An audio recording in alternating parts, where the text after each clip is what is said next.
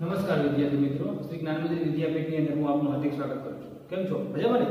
આજે આપણે ધોરણ આઠ ગુજરાતીમાં શબ્દના અર્થભેદ ટેક્સ્ટ બુકમાં પેજ નંબર સાડત્રીસ ઉપર આપેલું છે. એનો અભ્યાસ કરો કે દરેક શબ્દમાં ઘણી વખત આપણે શબ્દ બોલતા હોય છે. મેં આપણે જોડેલા નિયમો કરાવ્યા. તો આ જૂના નિયમોની અંદર આપણે જોયું કે ચિત્તા અને ચિંતા દિન ને દિન આવા બધા શબ્દોમાં અર્થભેદ. જેના કારણે આખો શબ્દનો આખો અર્થ બદલાઈ જાય છે. અને આપણે ખોટા શબ્દ લખાણ પણ કરતા હોય છે અને બોલતા પણ એટલે એ ન થાય. એટલે કે સાચા શબ્દનો અર્થ શું છે? બંને વચ્ચેનો ભેદ શું છે? અર્થભેદ.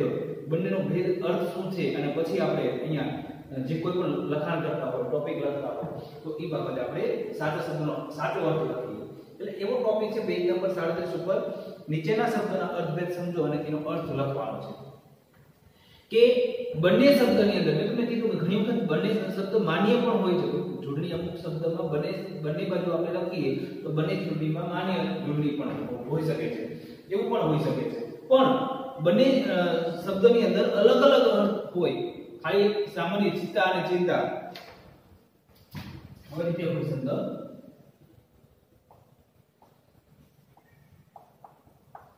તો ઘણો બધો ફેર પડે. મેં તમને વાત કરી એમ. ઘણા બધા શબ્દો એવા છે. બરોબર? આવા શબ્દો કે જેના કારણે આખો અર્થ બદલાઈ જાય છે.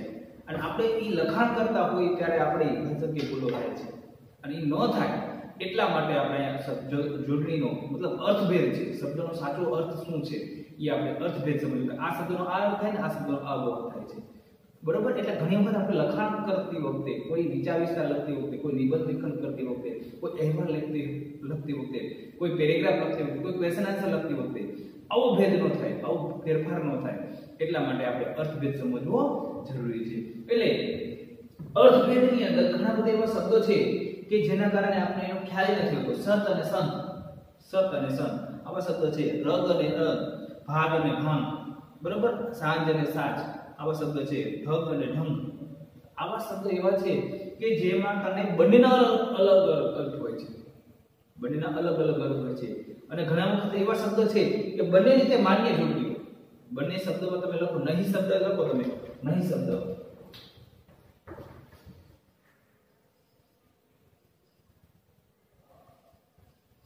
તો બંને માન્ય, બંને રાઈટ જોડણી છે.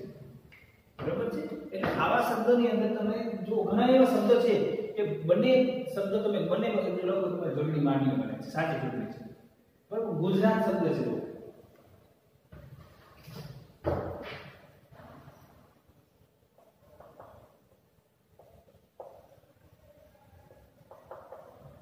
બરાબર ગુજરાત. સાચી ચૂંટણી આમાંથી કઈ છે? સાચી ચૂંટણી છે, આમાં બંને માન્ય છે. પણ ગુજરાત વિદ્યાપીઠની અંદર સંદર્ભ હોય છે. ગુજરાત શબ્દ પહેલા આમાં માટે ઉપયોગ કરેલો છે. બંને ચૂંટણી માન્ય છે. પણ વધારે પડતું ગુજરાત આપણે લખવાનું થાય તો આમાં એક જ શબ્દ, એક જ જ્યારે લખવાનું થાય, ત્યારે આપણે ગુજરાત વિદ્યાપીઠ લખવાનું થાય, ત્યારે આનો ઉપયોગ કરીએ છીએ.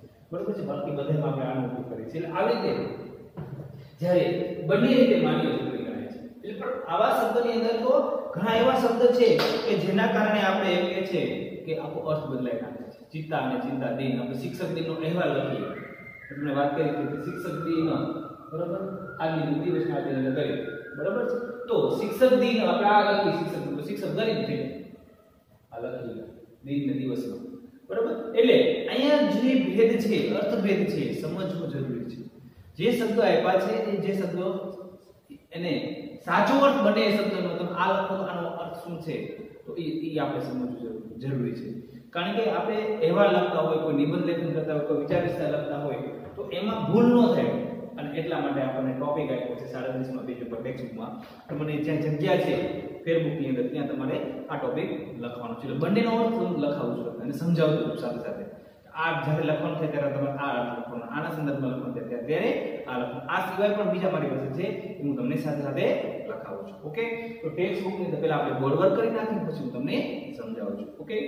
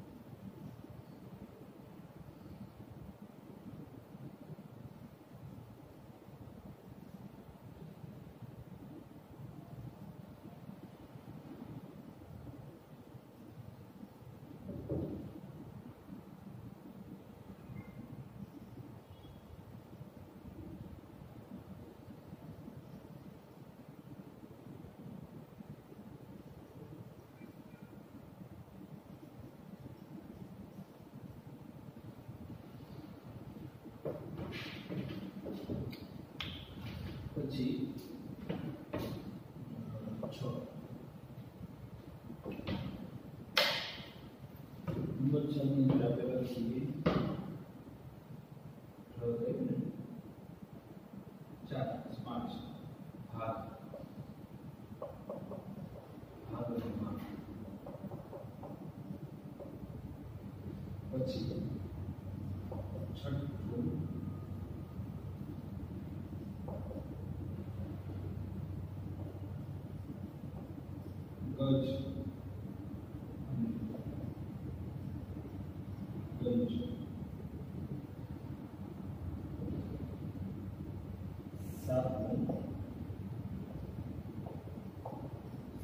concern.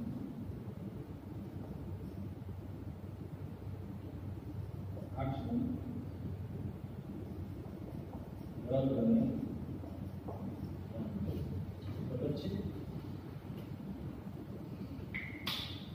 दिन भर रखिए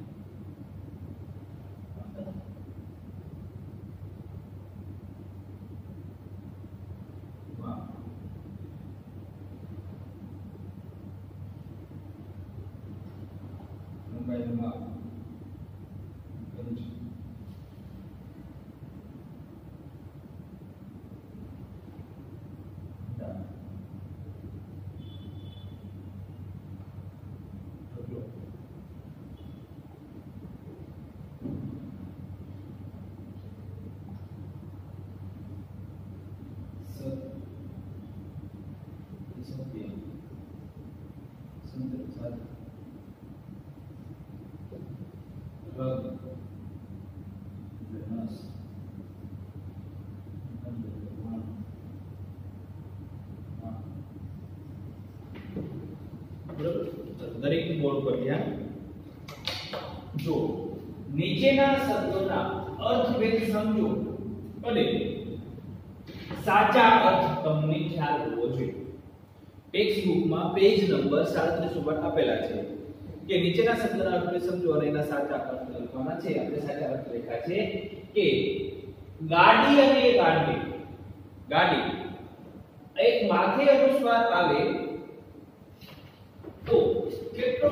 પડી જાય છે. ગાડી, એટલે વાહન જે ચલાવવાનું હોય કોઈ કોઈ મોટર મોટી ગાડી આપણે એને ગાડી કહીએ છીએ. અને એની પર જો કોમન અનુસ્વાર આવી જાય ગાડી બરોબર? ગાડી એટલે પાગલ સુધી ગાડી એટલે ગાડી હરી જાય એટલે ગાંડી એટલે તીવ્ર અનુસ્વાર છે એટલે પાગલ બંને વચ્ચે જો તમે નિબંધ લખતા હોય કે કોઈ પ્રસંગ લખતા હોય, ત્યારે કોઈ ગાંડું માણસ એમ કે છે ત્યારે તમે કાં તો ગાંડી સ્ત્રી એની પાછળ એમ કે છે, જાય છે, ત્યારે એ ગાડીની જગ્યાએ ગાડી ગાડી લખો વાહન થઈ જાય છે. આખો અર્થ બદલાઈ જાય છે. બરોબર છે? એટલે આવો ફેરફાર ફેરફાર ન થાય. આખો સાચો અર્થ શું કહેવા માંગે છે? બંને અર્થની અંદર તમે આ લખતા હોય. એનો તમે એમ કીધું હોય કે કોઈ ગાંડી સ્ત્રી ત્યાં ઊભી છે, તમે લખતા હોય અને ત્યારે તમે ગાડીની જગ્યાએ ગાડી લખો, તો તમારું આખું સેન્ટેન્સ ખોટું પડે છે. સમજાય છે? એટલે ગાડી, હવે ત્યાં સરસ મજાની નવી ગાડી ઊભી છે. તો ત્યાં તમે, ત્યાં સરસ મજાની નવી ગાડી ઊભી છે. એની જગ્યાએ ત્યાં સરસ મજાની નવી ગાડી ઊભી છે. તો કેવું વાક્ય થાય ગલત છે ગાંડી એટલે પાગસ્ત્રી નવી ગાંડી ઊભી છે. એવું કહેવા માંગે છે. એટલે બંનેનો અર્થ અલગ અલગ થાય છે. એટલે આખો ગાડી એટલે વાહનના અર્થમાં કહે છે અને ગાંડી એટલે પાગસ્ત્રી છે. હર્ષ અને હંસ કે છે? હર્ષ અને હંસ ખાલી એક સામાન્ય ફેરફાર છે. હર્ષ એટલે હસવું, બરોબર? હસવું, ધાતુ ઉપરનું બની વસ્તુ. હસ એટલે હસવું છે. હસે તો હસ હસ ને ભાઈ હસ ને એમ કહે છે? અને હંસ એક પક્ષીનું નામ. સરસ મજાનું એક પક્ષી છે. હંસ. હંસલા હાલો ને એવું એક પક્ષી, એવું ગીત બનાવ્યું છે ને? એટલે આ હંસ છે. બરોબર? એટલે હસવું અને હંસ. પછી સાજ અને સાજ. સામગ્રી, સાજ સાજ બાજ લઈને તૈયાર થઈને બધા તૈયાર બધી સામગ્રી લઈને આવજો સાજ પહેલે લઈને આવજો અને સાંજે સંધ્યાનો સમય, સાંજના સમય. આવો, જો આપણે એમ કે સાંજના સાંજના સમયે એમ કે છે, એ પોતાનું કે છે, પોતાનું જે સૂર્યના કિરણ છે, એ પોતે તડકો છે સમય લે છે. તમે યાર તમે આવો સાજ શબ્દ લખો, તો એક સામાન્ય એક અનુસ્વારમાં કેટલો બધો અર્થ થઈ જાય છે. એટલે સાજ અને સાજ. બરોબર છે? ઢગ અને ઢંગ. ઢગ ઢગલો. ઢગલો બધો ઢગ છે. ઢગલો. અને ઢંગ એટલે રીતભાત. તમારો ઢંગ તો જો રીતભાત તો વર્તણૂક તો જો ઢંગ કેવો છે. ઢગ એટલે ઢગલો. ઘણા બધા ઢગ પડ્યા છે, ઘણા બધા ઢગલાઓ છે. એટલે સામાન્ય કોમન સોરી એક અનુસ્વારના હિસાબે બધો ઢગ અને ઢગ. એટલે ઢગલા. ઘણા બધા ઢગો, ઢગલાઓ છે. ઢગ છે. ઢંગ ઢંગ એટલે વર્તણૂક અથવા રીતભાત કહેવામાં આવે છે કારણ કે આના- ઢંગ તો જો અને ઢંગ ઢંગ ઢંગધડા નથી ઢંગધડા નથી આપણે આ રીતના શબ્દ સાંભળ્યા છે કે સામેનો વ્યક્તિ તો જોવે ને ઢંગધડા કેવા હશે ઢંગ એટલે વર્તણૂક ધડા ધડો કેવો હશે એટલે ઢંગ અને ધડા એ વસ્તુ. એટલે ઢંગ એટલે રીતભાત અથવા વર્તણૂક થાય છે છઠ્ઠો શબ્દ છે ભાગ અને ભાંગ ભાગ એટલે આપણે ભાગ લેવાનો હિસ્સો છે મારામાં ભાગ લેવો છે, મારો એનો હિસ્સો લેવો છે. તો હું આમાં ભાગ લઈશ, મારો હિસ્સો કરીશ? ભાંગ એટલે ભાંગ એટલે આપણે કેફી એક પાંદડાઓ છે, એને બધા એમ કે છે, પીવામાં આવતું હોય. કેફી એક દ્રવ્ય છે, એના પાંદડાઓ છે, એને ભાંગ કહેવામાં આવે છે. ભાંગ ભાંગ ઘણા જૂના જમાનામાં ભાંગ પીતા. એટલે આવી એક પાંદડાનો કેફી બધું પાંદડાઓ છે. પછી ગજ અને ગંજ ગજ લંબાઈ એક માપ આટલા ગજ આટલા ગજ. ઓલા દરજીના કાપડનું હોય તો આટલા ગજનું લાવવું અને ગજ એટલે હાથી પણ થાય એ બે અર્થમાં છે. ગજ. એક લંબાઈનું માપ દર્શાવે છે, એટલે ગજ આટલા ગજનું માપ લેવા આટલા ગજનું કાપડ લાવો, આટલા ગજનું આમ લાવો. એટલે ગજ એટલે એક લંબાઈનું માપ પણ કહી શકો અને ગજ એટલે હાથી પણ કહી શકો. બરોબર? ગંજ એટલે ભંડાર. ગંજ, મીઠાના ગંજ કોઈ ઘણા બધા છે, ઢગલાઓ ઘણા ગંજ એટલે ઢગલા પણ કહી શકો એટલે ગંજ એટલે ભંડાર ઢગલો ઘણા બધા મીઠાના ગંજ પેટા છે. ગંજ એટલે ડગલા સત અને સંત. સત એટલે સત્ય. સત સત, સતની કેળી કાટ સતની કાટાળી કેળી પર પુષ્પ બની પથરાજો નથી કહેતા? સતની કાટાળી કેળી પર પુષ્પ બની પથરાજો આવું સત એટલે સત્ય સંત એટલે સાધુ મહાત્મા. સંત છે સંત સંત, મહાત્મા.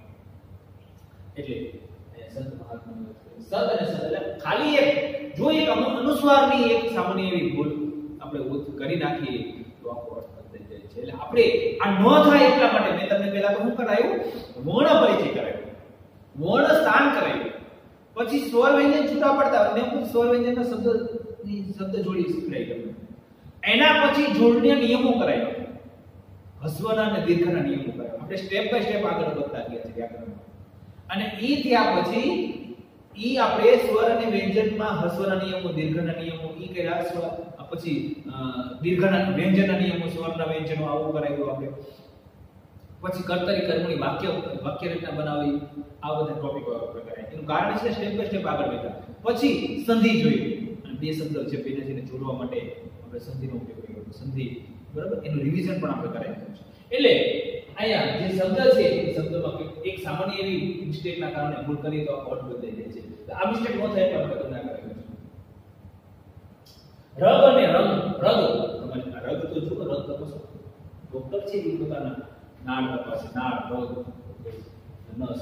રંગ એટલે વર્ણ અને રંગ તો જો હું માનું છે.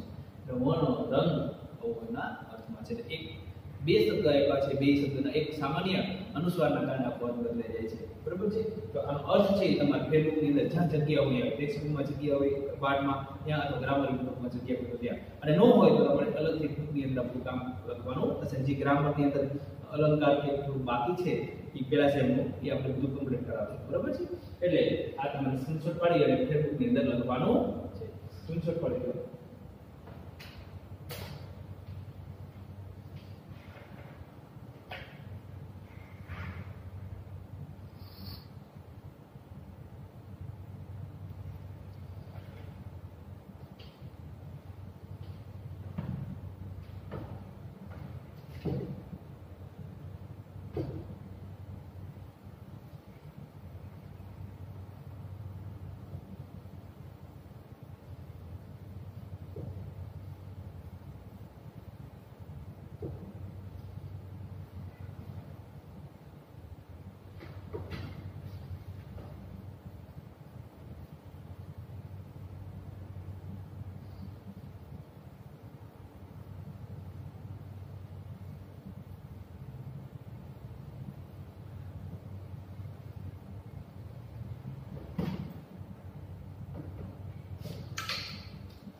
લો છ પછી સાત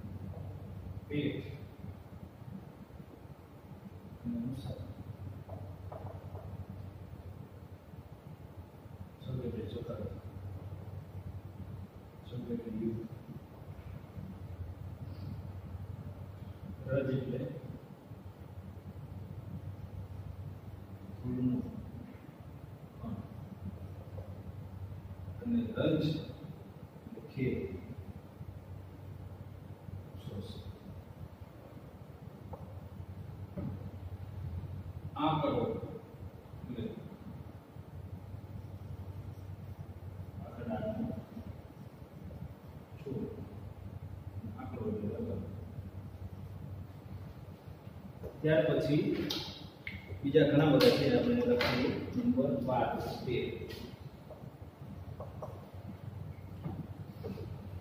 એક્સ્ટ્રા વધારાના ઘણા બધા છે એ હું કહું છું. મારી પાસે બુકમાં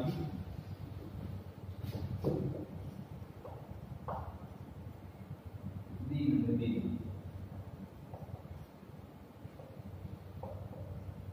ચૌદ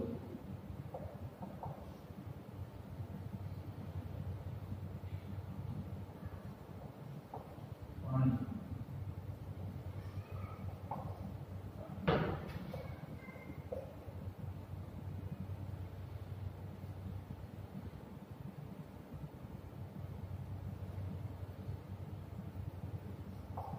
વધુ અને વધુ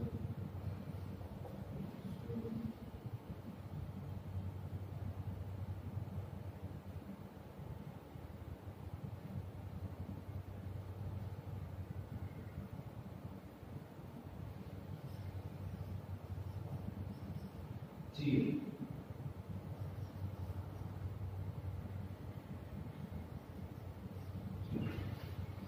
એનો આપણે સાચો અર્થ લખીએ.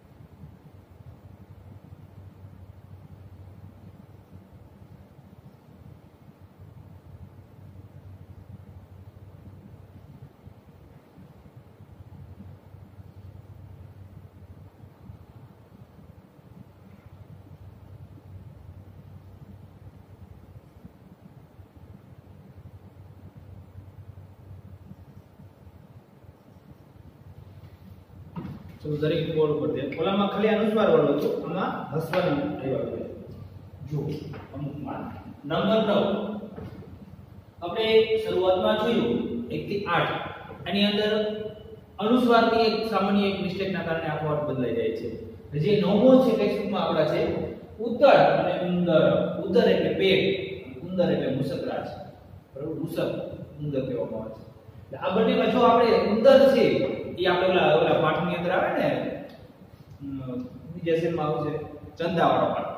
બરાબર છે? તો એની અંદર તમે જો, એની અંદર એમ કહે છે કે ઘંટડી બાંધવા માટે ઉંદરો ભેગા થયા છે ઉંદર લખી તો કેવું થાય? આખું કપાઈ જાય એટલે અહીંયા ઉંદર અને ઉંદર ઉંદર એટલે પેટ ઉંદર એટલે મુસક ઉંદર ભેગા એક સામાન્ય અનુસ્વારના કારણે અર્થ બદલે. જગ એટલે જગ જગ જીવો જગત. બરોબર છે? જંગ એટલે યુદ્ધ. બરોબર? એટલે આ રીતે જગત જગત છે એની વાત કરે છે. અને જંગ એટલે યુદ્ધ કરવું જંગ ખેલવું. બરોબર? એના અર્થ કહે છે. રજ એટલે રંજ. રજ એટલે ધૂળનો એક કણ નાની નાની રજ એને ઉડતા એવી એની રજ. રજ એટલે ખેલ, અફસોસ. એને હું રજ છે? એનો હું અફસોસ છે? કાંઈ રંજ નથી ના કોઈ અફસોસ નથી. આંકડો અને આંકડો. આંકડો એટલે આંકડાનો છોડ, આંકડો ચડાવો. નથી આપણે આંકડાના? એ જે આંકડાનો. આંકડો એટલે રકમ. આંકડો માંડે છે, આંકડો રાખે છે. રકમ લખે છે. બરોબર છે? આ એક કોમન અનુસ્વારના કારણે, તીવ્ર અનુસ્વારના કારણે સામની અર્થ બદલાઈ જતો હોય છે. તો આપણા ટેક્સ્ટ નંબર, પછી મારી પાસે બીજા ઘણા બધા એવા શબ્દ છે કે જેના કારણે આપણે આગળ જતા પણ ઉપયોગી છે. અને તમારા દસમા ધોરણમાં, નવમા દસમા બંનેમાં આવશે. એટલે આઠમાથી જ આપણે પ્રેક્ટિસ કરાવી. સમજે? દસમા ધોરણમાં બે માર્કમાં પૂછાશે. બોર્ડની એક્ઝામ ગુજરાતીમાં. એટલે આપણે એના શબ્દમાં જોઈએ. દિન અને આપણે વાત કરીએ કે દિન અને દિવસ? તો મેં તમને કીધું કે કોઈ દિવસ વિશે આપણે લખતા હોય શિક્ષક દિન વિશે લખતા હોય, કોઈ વાર્ષિક ઉત્સવ વિશે લખતા હોય, આ દિવસે. પછી કોઈ વિશ્વ સાક્ષરતા દિવસ તરીકે તમે લખતા હોય. બરોબર? કોઈ ઉજવણી બાબતે લખતા હોય. ત્યારે દિન ને દિન ફેરફાર કરવામાં આવે. તો આ આ દિન તો ગરીબ થઈ ઓલું દિન જ્યારે કોઈ ગઈ વ્યક્તિની વાત કરતા હોય કે આ દિન લખો દિવસ થઈ જાય છે. એટલે આવો ભેદ ન થાય, એટલા માટે આપણે અર્થભેદ સમજવો જરૂરી છે. સમજાય છે તમને? એટલે અહીંયા દિન એટલે દિવસ આ દિન હસ્વ અને દીર્ઘામાં ભૂલ છે. જો એક સામાન્ય અનુસ્વારમાં ભૂલના કારણે આખો અર્થ બદલાતો હોય, તો હસ્વ અને દીર્ઘામાં તો આપણો કેટલો બધો અર્થ થઈ જાય છે. અહીંયા દિન અને દિન. બરોબર છે? પછી પાણી અને પાણી. અહીંયા કહે છે, પાણી એટલે જળ એક પાણી રૂપમાં કહે છે તો હાથ થઈ જાય છે. એટલે આ પાણી એટલે જળ જે નીર છે, એની વાત કરે છે. અને અહીંયા આ પાણી છે હસ્વ હાથના આપણે ઘણી વખત લખતા હોય, કોઈ વિચાર વિસ્તાર લખતા હોય, કોઈ નિબંધ લખતા હોય, કોઈ પ્રસંગ લખતા હોય, બરોબર? ત્યારે આપણે પાણીને આપણે બીજા કહી દઈએ તો એ પાણી એટલે હાથ થઈ જાય છે. કે પાણીયાર તો તમે જે શબ્દ પાણીયાર શબ્દ છે એ તમારા કામની પાણીયાર શબ્દ છે, એ પાણી માટે વપરાયેલો છે. એટલે પાણી શબ્દ છે તમારે યાદ રાખો હાથ માટે વપરાયેલો શબ્દ નથી. બરોબર છે? એટલા માટે આ બંને શબ્દનો અર્થ જો તમારે કંઈ પણ ભેદભાવ, મતલબ ફેરફાર ન થાય એટલે સાચો અર્થ લખવાનો છે. ત્યાર પછી વધુ અને વધુ. વધુ એટલે વધારે. વધુ એટલે બહુ બહુ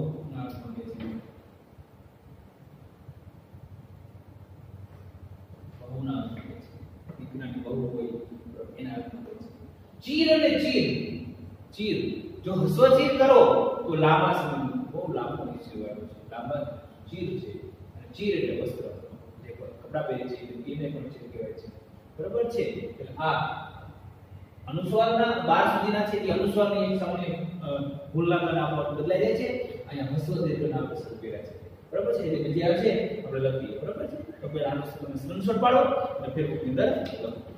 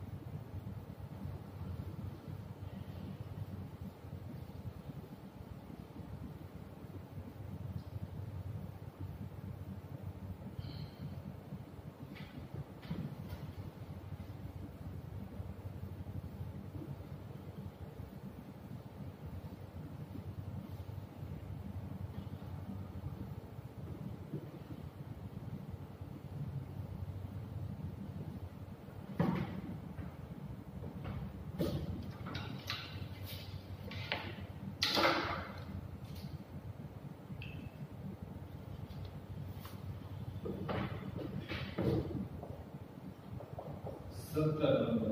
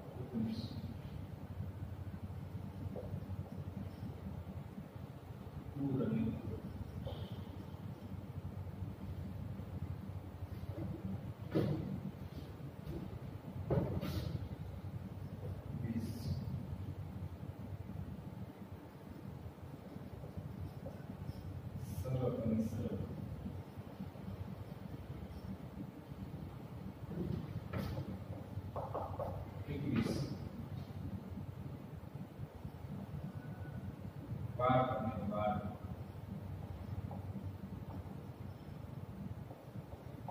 બાવીસ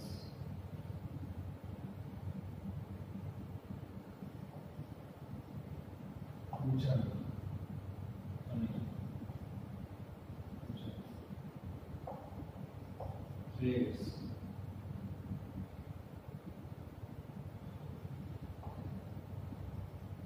મેષ અને મેષ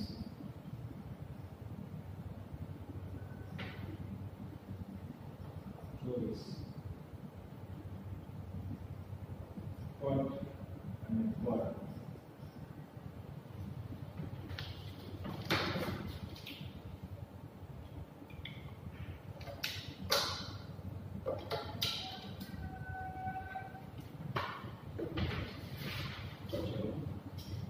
કંસાઈ એટલે જીવડું અને અહીંયા કંસાઈ એટલે શ્રી કૃષ્ણ પછી ગુણ અનાજની બોરી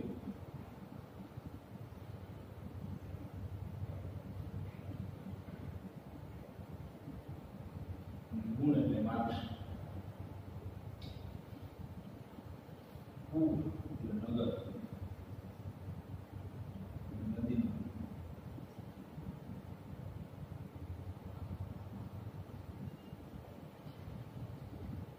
પછી સરસ એટલે હોલ કરાર કરાર અને સરસ એટલે નજર નજર નજર અને ધ્યાન પછી વાટ રાહ રાટ અને વાડ એટલે કોટ કોટ ઊંઝાણ એટલે ખરાબ માણસ ખરાબ માણસ અને મધુર ગાવું મધુર ગાવું પછી મેષ એટલે કાજળ. અને મેષ એટલે રાશિ. પટ એટલે વિશાળ. પટ એટલે સ્થળ દરેક આપણે અહીંયા આપણે જોઈશું બે લેખા છે કંસારી તો કંસારીમાં દી દીર્ઘ છે તો જીવડું એ કંસારી નથી બોલતી.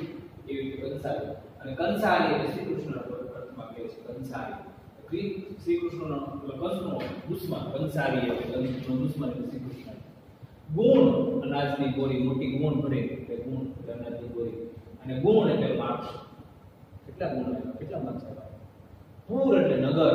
અને પૂર દીર્ઘના નદીમાં આવે છે. શબ્દોમાં જે શબ્દો પર ભાર દે એ દીર્ઘ શબ્દ છે. રસો દીર્ઘના છે શરત એટલે હોળ કરાર શરત લગાડી છે, હોળ લગાડી છે કરાર કરવો છે. અને આ શરત નજર. શરત શરત નજર શરત આ શરત. જ્યારે લખવાની અંદર તમે ત્યારે કે આ ખાસ લઈને લખવાનું છે, શરત કરવી. આ શરતનો ઉપયોગ થઈને આ શરત. નજર ધ્યાન. પછી વાટ અને વાળો ખાલી વાટોની જગ્યાએ ડ થઈ જાય તો ઘણું બધું વાટો એટલે રાહ જોવી. વાટ રાહ જોવી વાટ એટલે કોટ પરથી કોટ બાંધવી બરોબર છે? ઉંજણ ઉજાળો એટલે ખરાબ માણસ ઉંજણ દીધો નાખી બધું કહો. બરોબર છે મેષ એટલે કાજળ મેષ એક રાશિ છે મેષ રાશિ પટ એટલે વિશાળ વિશાળ પટ છે. પડ એટલે સ્તર. પડ પણ પડ સ્તર. બરોબર છે તો આવા ઘણા બધા, ઘણા એવા ઘણા બધા એવા શબ્દ છે કે જેના અર્થ આખો બદલાય, બદલાતો હોય છે. સૂર, અપેક્ષા, બરોબર?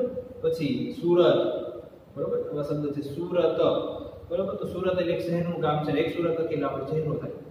એવું છે. ભુવન એટલે ભુવન. ભુવન એટલે મકાન, એક ભુવન એટલે કહેવાય.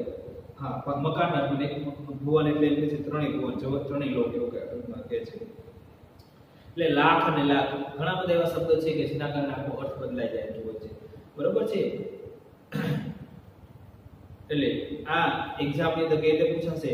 કે તમને સમજાઈ દો કે નીચેના શબ્દનો સાચો અર્થ દર્શાવો. નીચેના શબ્દોના તમારે સાચા અર્થ દર્શાવવાના હોય. તો સાચો અર્થ કયો છે? એ તમારે દર્શાવવાનો થશે. તમે પેલા સ્ક્રીન પર પાડો.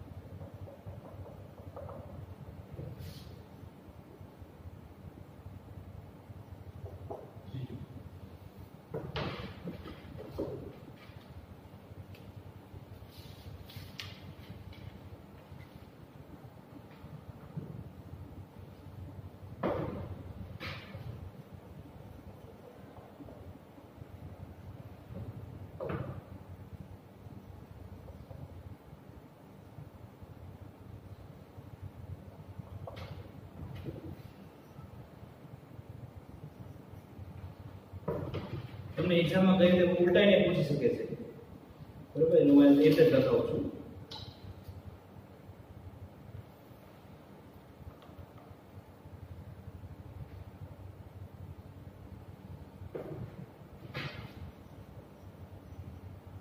વસ્ત્ર શબ્દ માટે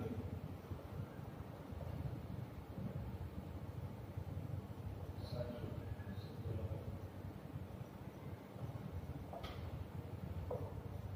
હવે જો દરેક બોર્ડ પર ધ્યાન ભાગ ભાંગ શબ્દ આપ્યો છે ભાંગ આપણે લખાય ને ભાંગ શબ્દ તો ભાંગ શબ્દનો સાચો અર્થ લખો એક પાંદડા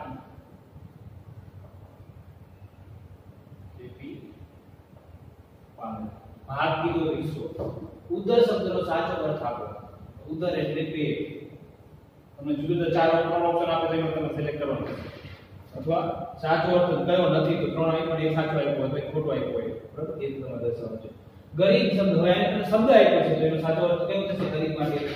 ગરીબ એના તમને સાચો અર્થ આવવો જોઈએ. ગરીબ એટલે દીવ દીન એટલે અદીન કયો જવાબ આવશે? અદીન બરાબર? દીન ઓલું આપ્યું તો એની સિલેક્ટ કરવાનું પછી વસ્ત્ર શબ્દનો તો ચીર.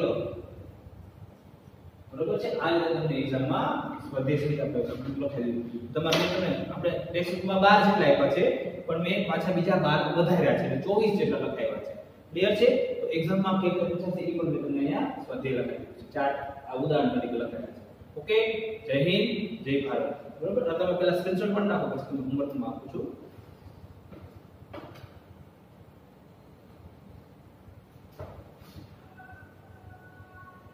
હોમવર્કમાં આજે ચલાવે અર્થભેદ ફેરબુકમાં લખો આજે જે ચલાવેલા છે એને તમારે ફેરબુકની અંદર લખવાના છે. બરાબર છે? ઓકે. જય હિન્દ, જય ભારત.